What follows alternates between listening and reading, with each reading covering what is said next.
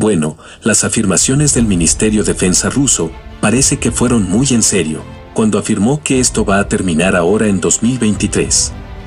Con o sin Occidente y la pandilla de la OTAN. Ahora sí, vamos a darle.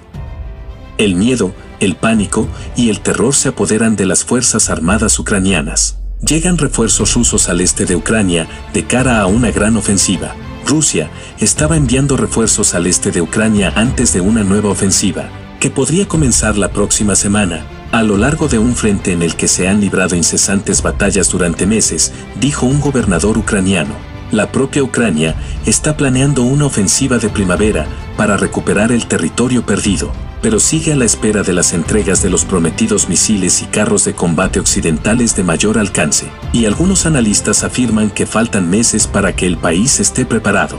Estamos viendo cómo se despliegan cada vez más reservas rusas en nuestra dirección. Estamos viendo cómo traen más equipamientos, dijo Seriai Dai, gobernador ucraniano de la provincia de Luhansk, ocupada principalmente por Rusia. Traen munición que se utiliza de forma diferente a la de antes, ya no se bombardea las 24 horas del día. Están empezando a ahorrar poco a poco, preparándose para una ofensiva a gran escala, dijo Aidaya a la televisión ucraniana.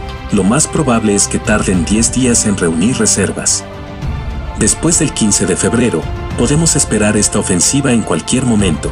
La guerra está alcanzando un punto crucial a medida que se acerca su primer aniversario, ya que Ucrania no consigue avances, como en la segunda mitad de 2022, y Rusia avanza con cientos de miles de soldados de reserva movilizadas.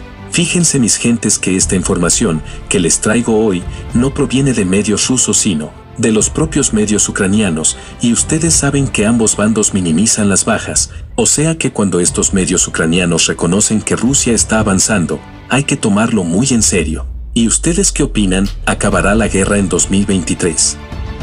Muy bien mis amigos, hasta aquí la noticia por el momento. Si esta información es de tu agrado suscríbete, dale like y activa la campanita.